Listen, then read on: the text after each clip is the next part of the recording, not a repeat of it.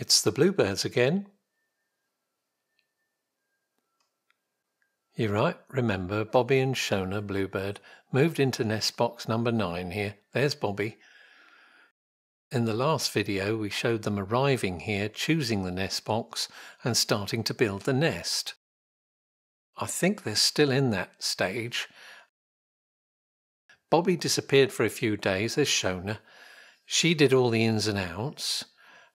Then they were both here for this time because this was shot over two weeks, about 11th of May up to the 25th. There's Shona going out, Bobby coming back. I tried to film about uh, three or four hours a day and, and, and choose the best bits, whatever I could. And there's Bobby again.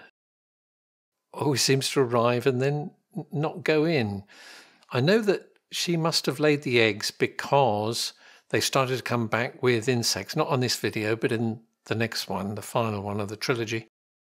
The Bluebird trilogy, yeah. Anyway, here's Bobby. Look, so Shona, now look, there's Derek next door, Derek the yogi. Shona doesn't think much of him. She's going to disappear from that window. Yeah, she's gone. Derek likes getting sun and showing off his muscles and his tan. Oh, there he goes, very agile young lizard. Uh, there he is again on the top of the cinder block. Watch out, Derek. Bobby and Shona on the way back home. There's Shona. Bobby catches you. Oh, he's just out of the way. Ah, Bobby is a splendid being, isn't he? Lovely blue coat, rusty red clay breast. He's the eastern bluebird.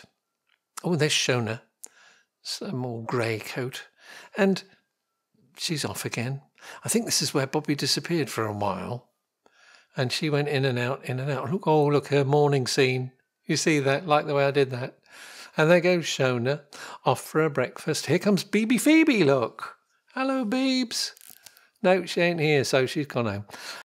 There's Bobby. And I think I've got a sneaking suspicion maybe there's a young fledgling or chick.